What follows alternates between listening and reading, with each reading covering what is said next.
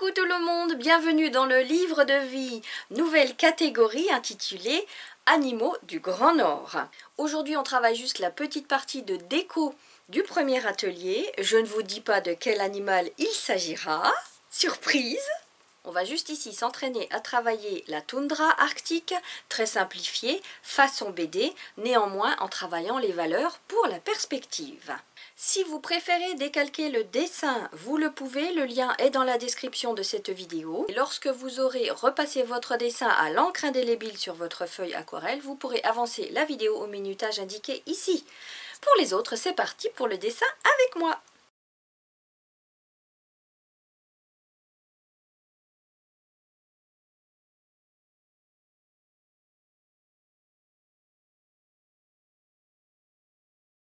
Vous avez votre petite feuille aquarelle. Dans un premier temps, je vous invite à prendre votre règle et votre crayon de papier pour prendre juste des petites côtes sur la gauche. Donc le zéro au bord de la, petite carte.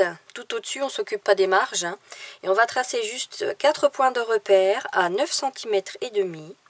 Là, vous pouvez faire en même temps que moi, je parle lentement. Donc 9 cm et demi, 11, 14 et 15. Voilà. Et puis comme point de repère, vous voyez, ça sera tout parce que c'est pas, pas compliqué. Hein. De ce point-là, on va tracer le dessus du rocher comme ça qui descend. Ensuite, une première petite colline qui monte légèrement. Une autre en forme de vague. Et là, la dernière qui monte légèrement.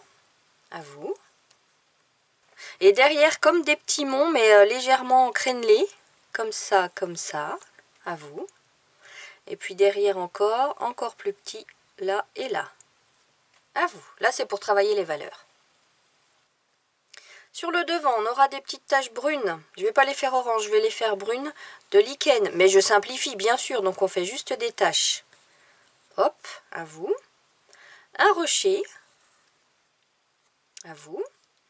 Une petite vague là pour faire deux petits rochers qui affleurent ici. À vous. Et derrière, trois petits rochers. À vous. Donc vous voyez rien de compliqué. Je vous invite à prendre votre crayon à encre indélébile. Alors je dis crayon mais c'est un, stylo. Hein. Et on repasse tout simplement l'ensemble. Voilà, j'ai terminé de repasser mes petits rochers et mes monticules.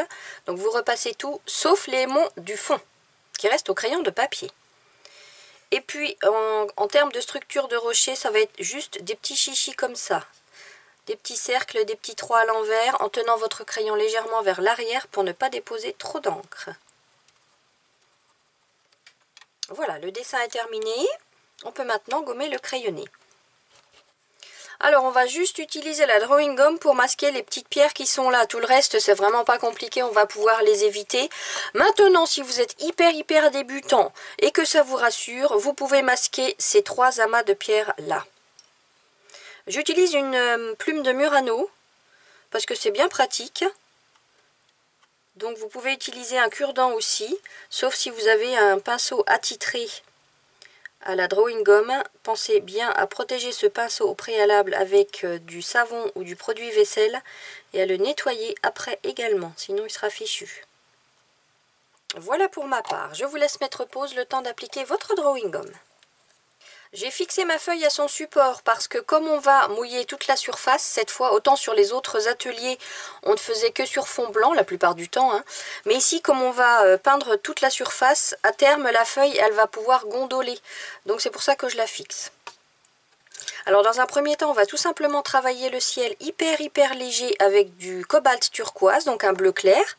Si vous n'avez pas exactement les mêmes références que moi, ici c'est du 531 de chez White Nights, vous prenez ce qui s'en rapproche ou vous prenez vos couleurs préférées. Il faut que cette aquarelle vous ressemble. Je vais prendre mon pinceau à la vie pour mouiller tout ce ciel sans forcément toucher les petits monts du fond. Et après, avec mon pinceau Kolinsky, je vais tout simplement appliquer mon turquoise en partant du dessus et en descendant légèrement, mais sans toucher les monts. C'est-à-dire que je vais laisser blanc juste au-dessus des monts. Voilà, tout léger, léger.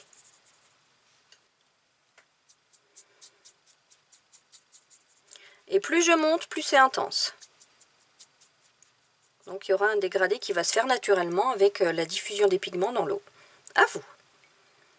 Le second plan, c'est un morceau de prairie qui va être travaillé avec trois couleurs. Ici, je vais prendre le jaune tout court 211 euh, de chez White Knights, le orange de chrome 217 de chez White Knights également, et le rouge anglais 321 de chez White Knights. Je prends mon pinceau Kolinsky pour mouiller cette surface. C'est pas très grand, c'est pas la peine de prendre le pinceau à la vie qui me déposera beaucoup d'eau. Et j'applique ma couleur avec mon petit pinceau rouge qui va me chercher pas mal de pigments. Je vais laisser une petite tache blanche ici. Tout le reste, je peins. Donc, on n'est qu'au deuxième plan, donc on va quand même travailler avec pas mal d'intensité. J'ai rassis un petit coup mon pinceau. Vous voyez, j'ai mon bol d'eau ici. Mon orange clair. Je fais le tour de ma tache blanche en laissant apparaître du jaune.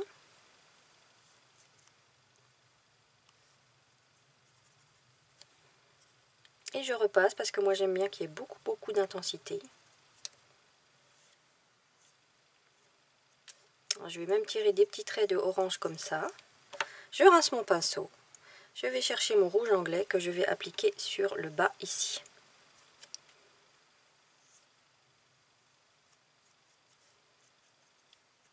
et je laisse maigrir. Et on attend que ça sèche. À vous. Je ne vais pas peindre le troisième plan, la prairie du troisième plan tout de suite pour ne pas que ici ça migre, les pigments migrent lorsque je vais mouiller, donc je vais m'occuper de cette partie-là. Ici je ne vais utiliser que mon jaune et mon orange, mais tout léger léger, c'est-à-dire que je vais mouiller avec mon Kolinsky et je vais appliquer ma couleur avec mon Kolinsky. Comme il est plus chargé d'eau, il va me déposer moins de pigments. Donc hyper léger tout ça mon jaune et mon orange sur le bas comme ça donc assez pâle hein.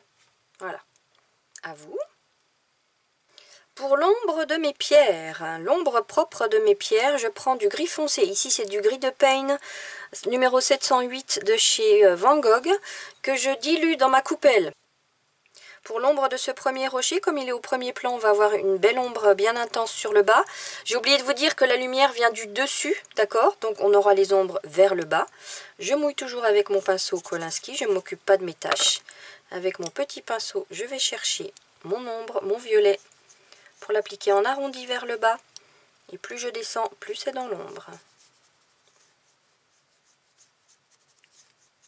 Je remonte un petit peu mon ombre pour qu'elle soit, qu'elle occupe quand même pas mal l'espace et je renforce en bas. Là, à vous. Et je vais faire pareil avec ce rocher là. Je mouille avec mon petit pinceau parce que c'est tout petit comme surface. Et je recommence. On arrondit ici. Mais je ne vais pas renforcer avec du gris plus foncé. Parce qu'on commence à avoir de la perspective. À vous. Et là derrière, ça va être le même gris, mais dilué dans ma coupelle, pour que ça soit encore plus léger. je travaille juste le bas. Tout léger, léger. À vous. Avec ce même gris, très léger, je vais travailler les deux petits monticules qui sont tout au fond. Sur support sec, c'est pas la peine de mouiller, c'est pas large du tout. Voilà, à vous.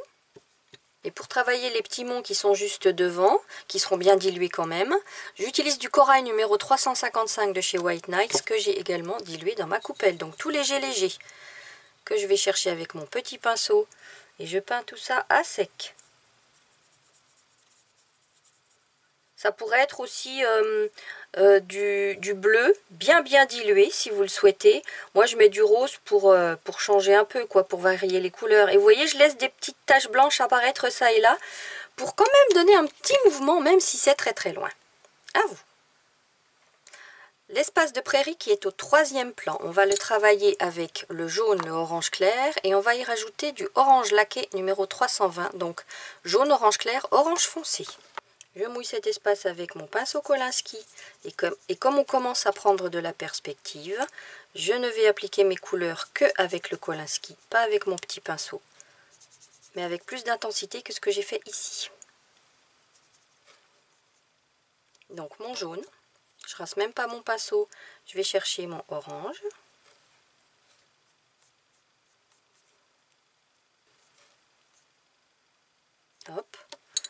Je remouille la pointe de mon pinceau pour aller chercher mon orange foncé, le renforcer sur le bas ici.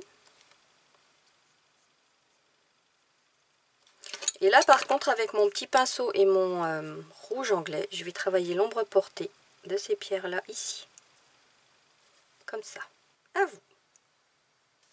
Les taches de lichen, pour qu'elles ressortent mieux que ce que j'ai fait sur mon prototype, je vais les faire en vert. Donc je vais utiliser mon jaune, mon vert olive clair numéro 727 de chez White Nights et travailler une petite ombre avec du terre d'ombre brûlé numéro 408 de chez White Nights, donc un marron foncé. Je mouille ma petite surface ici. Je prends mon jaune, donc ça va être quand même la base de cette tache là du moins. Hop, je rince la pointe de mon pinceau, je vais chercher mon vert. Je fais tout le tour de mon jaune. Si ça se referme, c'est pas grave. Hein. Vous essayez de laisser une petite tache. Et après, je tapote pour libérer encore plus de pigments avec ce vert. Vous voyez, quand je tapote, ça libère les pigments qui sont au centre des poils. Et je laisse plus clair au-dessus. À vous. Les deux taches du bas qui sont plus dans l'ombre, vont avoir une première couche. Donc j'ai mouillé ma, ma tâche, une première couche en vert. Je rince mon pinceau et je vais chercher mon marron renforcer l'ombre propre du rocher ici. Autant on avait commencé une ombre en gris, vous voyez, autant là j'en fais une aussi sur ma petite tache de lichen. Alors vous pourriez renforcer avec du vert foncé par exemple ou un peu de bleu. Essayez de, jouer sur les couleurs. Hein et regardez ce qui vous plaît le plus. Et je fais pareil avec cette tache-là. Alors, ah, attendez, il y a un truc qui me vient à l'instant. Spontanément, vous voyez le petit bout qui est au-dessus, il est dans la lumière. Et eh bien, je vais le faire en jaune. Comme ça, on épousera bien l'ombre grise. Jaune au-dessus. Hop, du vert là. Je rince mon pinceau. Marron. Et je suis l'ombre que j'avais fait en gris. Je la renforce un petit peu ici aussi d'ailleurs. Voilà. Ouais, comme ça c'est sympa. À vous. Allez, maintenant on va faire les petites fleurs euh, au ras du sol par petits paquets qui sont là, avec du carmin permanent 353 de chez et donc un rouge foncé. Hein. Et là c'est tout simple, hein. c'est tout simplement à sec. Je tapote et je fais des petits tapis, la base tout droit. Et après, des petits ronds comme ça touche. Et pareil ici. Ah, c'est pas sec, donc j'attends. Je touche à rien. Il faut attendre un petit peu que ça sèche. Et vous savez quoi, dans ma tête, il y avait de la drawing gum sur ce rocher-là, alors que pas du tout. Donc du coup, j'ai fait un, rocher avec un bord orange. Donc je vais vous donner un truc, si vous êtes débutant, pour retirer un petit peu de, de, pigment. Vous prenez un pinceau, vous mouillez et puis vous tapotez avec un, avec un essuie-tout ou un mouchoir. Hein un chiffon. On n'enlèvera pas tout, mais ça va atténuer. Voilà. Donc du coup, je vais retravailler un petit peu euh, mon ombre que j'avais faite. Hop. Vous voyez, j'ai des couleurs dans ma coupelle là. Je vais les chercher. En fait, je fais pas mes mélanges de couleurs dans un couvercle de ma boîte d'aquarelle parce que c'est une boîte en bois. C'est pour ça que j'ai euh, des, petites coupelles comme ça à côté. Voilà, j'ai retravaillé mon ombre. Hein. Alors, je vais essayer avec le dos de mon pinceau de retirer la drawing gomme qui est sur ces petits rochers là. Donc, faut y aller avec prudence parce que le papier, des fois, quand il n'est pas sec, eh ben, il se déchire avec la drawing gomme. Hein. Hop. Là, je vais appliquer ma, mes petites ombres à sec en retournant chercher un petit peu de gris très dilué. Hop.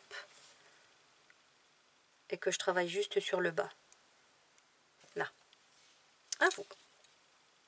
Bon, ma prairie n'est toujours pas sèche, donc j'attends un petit peu avant de terminer mes, euh, mes petites fleurs. Voilà, j'ai attendu 5 minutes que ça sèche. En fait, vous sentez si ça, euh, si ça commence à sécher comme il faut, en tapotant comme ça, en touchant, et vous sentez si c'est encore lourd ou pas, vous voyez. Si vous êtes hyper débutant, c'est un petit truc. Allez, je vais chercher mon rouge pour travailler ma petite fleur. En tapotant comme ça, et en suivant la courbe de ma première colline.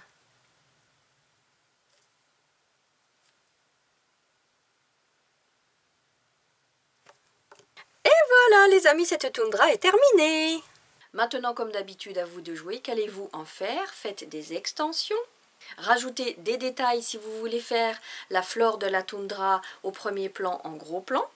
À vous de jouer. La semaine prochaine, je posterai l'illustration de la page de droite ainsi que le texte et je vous révélerai ce premier animal. Prenez soin de vous